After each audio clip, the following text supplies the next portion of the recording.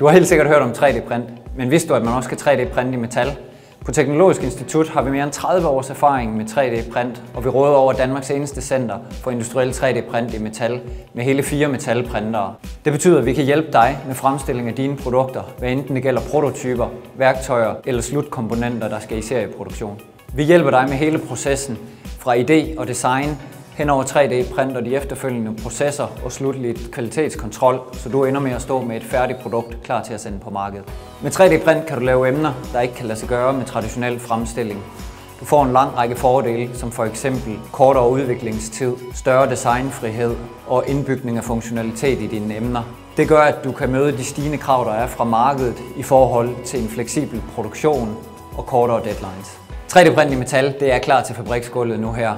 Densiteten er over 99,9%, så styrken er som den skal være.